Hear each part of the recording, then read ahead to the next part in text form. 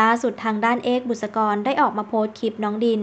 นอนสักลายมังกรอยู่ แต่ไม่ใช่การสักจริงๆนะ เป็นเพียงการวาดรูป ลงไปบนแผ่นหลัง พร้อมทางด้านคุณแม่ ได้แซวลูกชายเอาไว้อีกว่า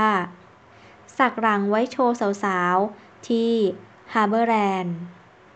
อีกทั้งเมื่อเสร็จแล้วน้องดินโพสท่าโชว์รอยสักสุดเท่ที่แผ่นหลัง แถมชาวเน็ตยังบอกอีกว่ายิ่งโตยิ่งหล่อ โดยเอกบุษกรได้โพสต์ข้อความเอาไว้ด้วยว่า โหดสุดในฮาร์เบอร์แลนด์สักไว้โชว์สาว แต่กว่าจะเสร็จค้ำเกือบขีดค่ะ PS